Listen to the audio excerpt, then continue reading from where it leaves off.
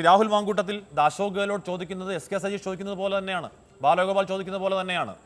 അതായത് കേന്ദ്രം അവിടെ കുറച്ചില്ലേ? അവിടെ വാറ്റിൽ പ്രപ്പോഷണലായി കുറവ് രാജസ്ഥാനിൽ ഉണ്ടായിട്ടില്ലേ?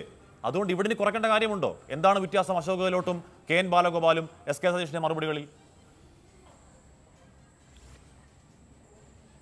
തീർച്ചയായിട്ടും. അതിനു മുമ്പ് ശ്രീ ഹാഷ്മി ഇവിടെ പെട്രോളിന്റെയും ഡീസലിന്റെയും നികുതി കുറച്ചതോട് കൂടിയിട്ട് ഒരു രാത്രി കൊണ്ട് പത്ത് രൂപയും അഞ്ച് രൂപയും കുറച്ചതോട് കൂടിയിട്ട് കഴിഞ്ഞ ഏതാണ്ട് ആറ് വർഷക്കാലത്തിന് മുകളിലായി കെ ഇന്ത്യയിലെ സംഘപരിവാറുകാരും കേരളത്തിലെ സഖാക്കളും നിരന്തരമായി നടത്തിക്കൊണ്ടിരിക്കുന്ന ഒരു നുണപ്രചരണം പൊളിച്ചിരിക്കുകയാണ്. യു പി എ സർക്കാർ നടപ്പിലാക്കിയ പെട്രോളിയം പ്രോഡക്ട്സിന്റെ പ്രത്യേകിച്ച് പെട്രോളിന്റെ വില നിയന്ത്രണാധികാരം സ്വകാര്യ എണ്ണ കമ്പനികളെ ഏൽപ്പിച്ചതുകൊണ്ടാണ് വിലക്കയറ്റം ഉണ്ടാകുന്നത് എന്ന ഇവർ രണ്ടുപേരും പടച്ചു വിട്ട നുണ ബോംബ് ഒറ്റയടിക്ക് തകർന്ന് ചീറ്റി പോയിരിക്കുകയാണ്. അങ്ങനെ യു പി. എ സർക്കാർ നിശ്ചയിച്ചതുപോലെയുള്ള വില നിയന്ത്രണം അല്ല പറഞ്ഞു ഞാൻ പറഞ്ഞു പൂർത്തീകരിക്കട്ടെ. വില അല്ല അത് നമ്മൾ ഒരുപാട് ഡിബേറ്റ് ചെയ്തേ നമുക്ക് വേണമെങ്കിൽ അത് ഡിബേറ്റ് ഡിബേറ്റ് ചെയ്യാം. എനിക്ക് സമയം തന്നാൽ മതി. അപ്പൊ വില അപ്പൊ താങ്കൾ ഒറ്റ വാചകത്തിൽ പറഞ്ഞാൽ വില നിയന്ത്രണാധികാരവും ഇപ്പോഴത്തെ വിലയും തമ്മിൽ യാതൊരുവിധമായ ബന്ധവും ഇല്ലാത്തത് കൊണ്ടാണ് കഴിഞ്ഞ ദിവസം വില കുറഞ്ഞത് എങ്ങനെയാ? ഈ രാജ്യത്ത് ഏതെങ്കിലും സ്വകാര്യ കമ്പനികൾ തീരുമാനിച്ചതിന്റെ അടിസ്ഥാനത്തിലാണോ? അല്ല സർക്കാരിന്റെ പോളിസിയുടെ ഭാഗമായിട്ടാണ്.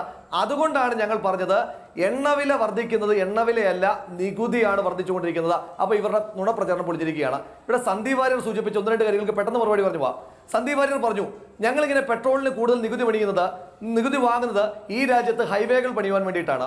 പന്ത്രണ്ട് കിലോമീറ്റർ ആയിരുന്ന യു പി എ കാലത്തെ പ്രതിദിന ഹൈവേയുടെ നിർമ്മാണം ഇപ്പോൾ മുപ്പത്തഞ്ച് കിലോമീറ്ററായി വർദ്ധിച്ചിരിക്കുന്നു. എന്റെ പൊന്നു സന്ദീപേ നിങ്ങൾ റോഡ് പണിഞ്ഞാൽ മതിയോ? ഈ റോഡിലൂടെ ആളുകൾക്ക് വണ്ടി എടുത്തുകൊണ്ട് ഓടിക്കുവാൻ വേണ്ടിയിട്ട് അവർക്ക് പറ്റുന്നൊരു പാങ്ങുണ്ടാക്കണ്ടേ?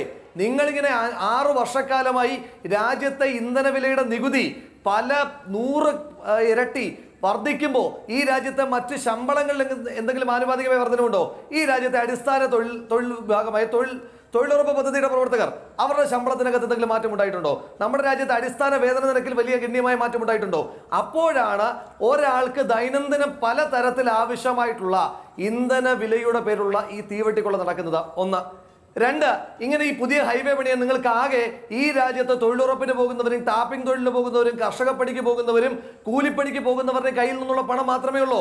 വേറൊരു ഇൻകം ജനറേറ്റിംഗ് സോഴ്സ് നിങ്ങളുടെ കയ്യിലില്ലേ? അങ്ങനെയാണെങ്കിൽ നിങ്ങൾ അത് പറയൂ. നിങ്ങളുടെ കഴിവുകേട് ഈ രാജ്യത്തെ ജനങ്ങളോട് പറയൂ. റോഡ് പണിയണമെങ്കിൽ നിങ്ങൾ ഡയറക്റ്റായിട്ട് പണം തരണമെന്ന് പറയൂ. ഇനിയും റോഡ് പണിയാൻ വേണ്ടിയിട്ടാണ് നിങ്ങൾ പണം ഉപയോഗിക്കുന്നതെന്ന് പറയുമ്പോൾ റോഡ് ടാക്സ് നമ്മൾ സെപ്പറേറ്റ് ആയിട്ട് കൊടുക്കുന്നില്ലേ? നമ്മളൊരു വാഹനം ഉപയോഗ വാങ്ങുമ്പോൾ ആ വാഹനത്തിന് പ്രത്യേകമായി റോഡ് ടാക്സ് നമ്മൾ കൊടുക്കുന്നില്ലേ? പിന്നെ ഇവർ പറയുന്നതിന്റെ ലോജിക്ക് എന്താണ്?